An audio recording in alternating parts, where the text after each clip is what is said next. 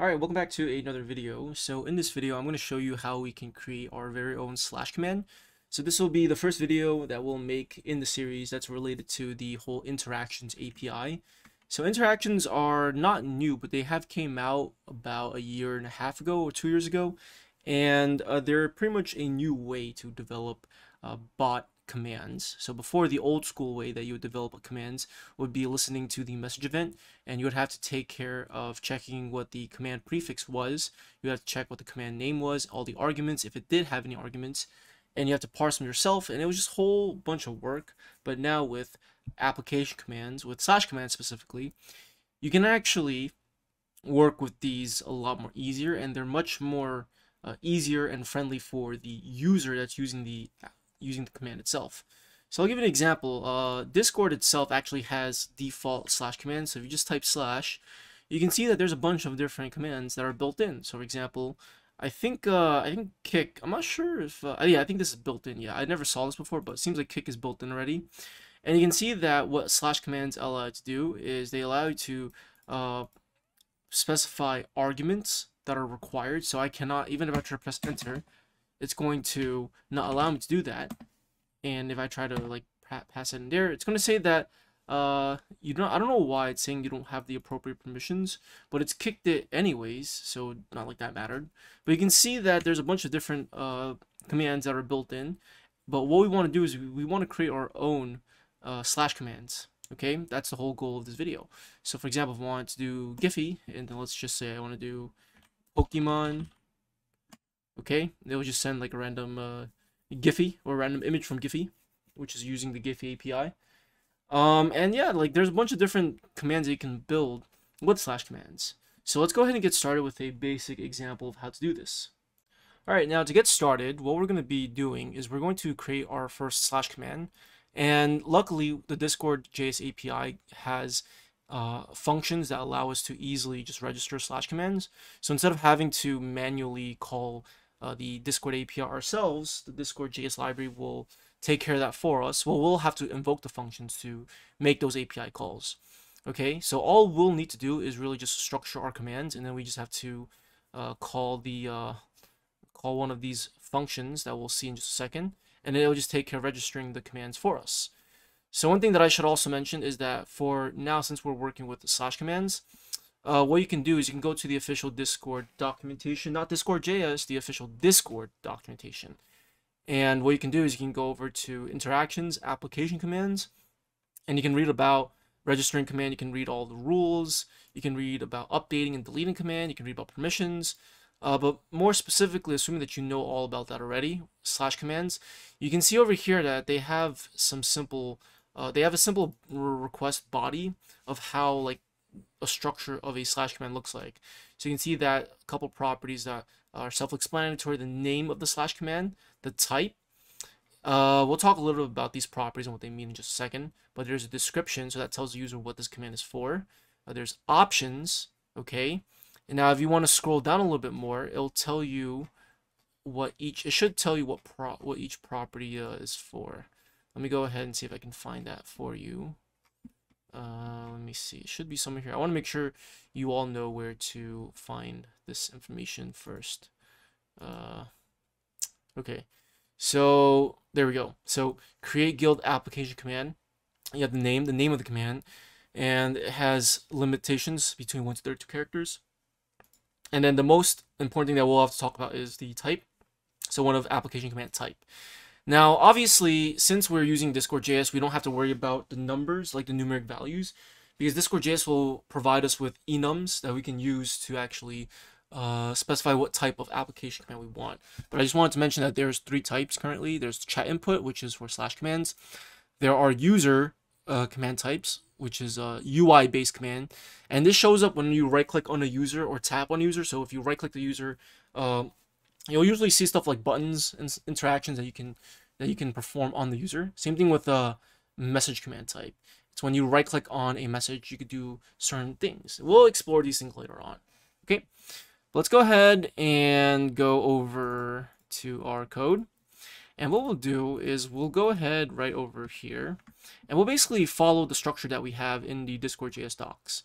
So you can see that right over here, what they do is they actually have a package called discord.js slash rest, and we're going to install this because this is uh, the REST API that allows you to uh, interact with the Discord API specifically. It's a library that takes care of calling the Discord API for you. So that way you don't have to manually use an HTTP library and do it yourself. Okay, so what we'll do is we'll install Discord.js REST because we did not install this just yet. So npm install at Discord.js REST. All right, so we've installed it. Great. And now what we'll do is we'll import the REST. Uh, seems like this is a class, so we'll import that right over here. So let's do import from Discord.js REST. And then we're going to import REST like that. Okay. Now what's next is we need to create an instance of REST. And for the token, I'm, I'm assuming that this is going to be the same uh, bot token, I assume. So let's go ahead and provide that. So what we'll do is const rest equals new rest and then version 10 and then we'll set the token and we'll pass in uh, the bot token right over here. So I'm actually move this all the way up here. And uh, there we go. Perfect. So we set the token. And let's go ahead and just run our code just to make sure that there's no issues currently. So we'll run the start dev script. Uh, yeah, let's next here. npm start npm run start dev. Okay, seems like uh, there's no issues so far. Let me just make sure if I if I pass in an invalid token. Let's see if there if it throws an error. Okay, seems like uh, no validation just yet, but we'll figure out when we try to call the API. So what we'll do is we'll go ahead and call rest.put, and we're going to get routes. And you can see over here in the docs that they are actually trying to register guild commands. So the reason why uh, you should, uh, you, what you should do is you should register guild commands first, and then once you're finished developing it, you can then register it as a global command.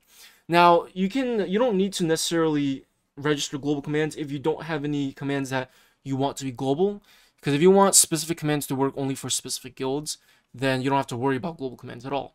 But if you want to develop global commands, which seems to be uh, what would make sense, because if you're developing a bot that should work on multiple guilds, whatever guild it is that adds the bot, you should obviously have access to at least the base level commands. So what you should do in development mode is develop the bot as a guild command. Once you're done developing it as a guild command, when you're ready to quote unquote, you know, deploy it or when you're ready to release the command or update the command, uh, you should definitely register as a global command. The reason why behind this is because global commands do take, I think, at least an hour to update, and there's more limitations compared to guild commands. Guild commands are instant, so that's why it's a lot more, uh, rec it's recommended to update guild commands uh, in dev mode. And when you're ready to, you know, publish the command or like release it to the public to use, publish as a global command. So what we'll do is I'll just copy this code over here and I'll explain what exactly is going on. Actually, I won't copy this code. I want to refactor our code just a little bit. So what I'll do is let me go ahead and delete this event because we're not really using this and I'm going to delete this message create event because we're not really going to be using that either. And let me just tidy up some things because right now our code is very messy and it's hard to kind of like see everything. But what I'll do is I'll create a function called main. Uh, whoops. Async function main. Okay, and then what I'll do is I will go ahead and call this function. And what this function will do is it will just log the bot in and it'll do a bunch of other stuff. So first we will run a try catch.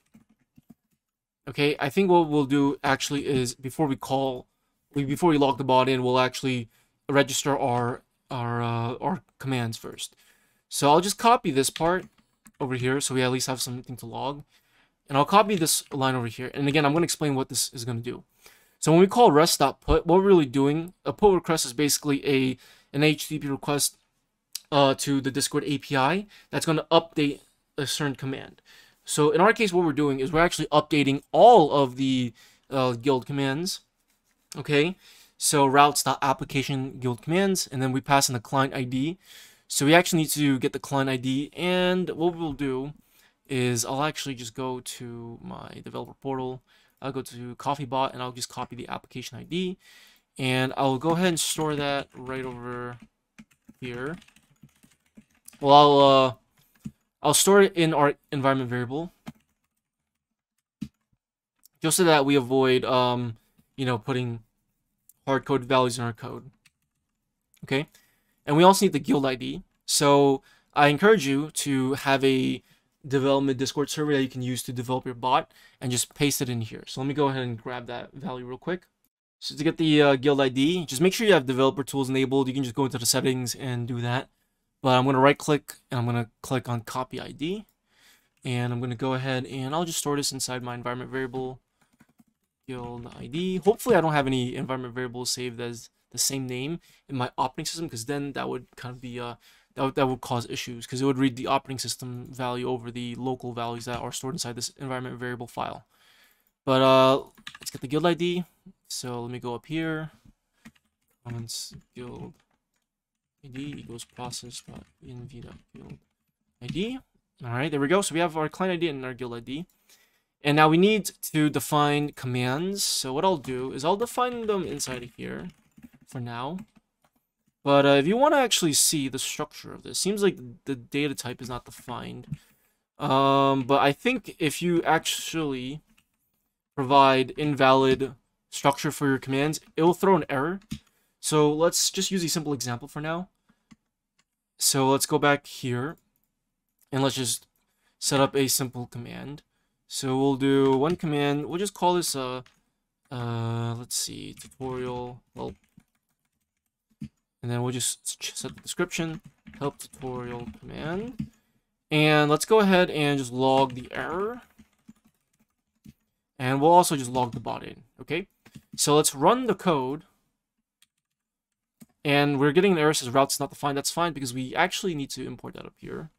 So you'll import that from the Discord JS library, not the Discord JS REST library.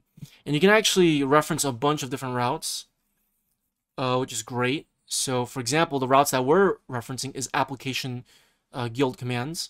Now, if we wanted to register our commands as global, we would reference application commands. Uh, there's also other endpoints too uh, that are pretty self-explanatory. For example, application command permissions would make sense uh, for the permissions of the command. Uh, if you wanted to work with one single command, you would reference application guild command. And this is a function, remember. And you need to pass in the application ID, the guild ID, and the command ID. And in later videos, I'll show you how you can get the command ID. But for now, let's just go ahead and register this. Okay. And let's see what happens. So started refreshing application commands. Uh, blah, blah, blah, there we go. All right, so let's go into our server and let's do slash. And we should see the tutorial help command. And you can see that it has a description. Let me zoom in a little bit. You can see that the description and the name of the tutorial help command is right over there. And if I want to add more commands, I can do that as well. Let's just do tutorial help 2, help tutorial command 2. And then now our bot is going to restart because we're using nodemon. If I do slash, we should see that command. Let's see. Let me see. Did I mess up? Let's see. Description. Okay, seems like they're different unique values and we didn't get an error here. So let's try it again. Tutorial help. Sure why it's not showing up, but it should show up.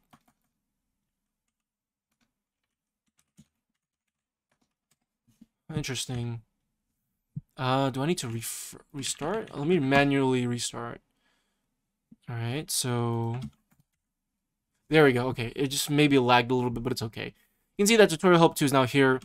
And if I wanted to change the name of these commands, if I want to change the description, it would work just fine. Okay, cool. Now, now that we've registered our slash command, what's next? How do we actually make it so that it actually does something?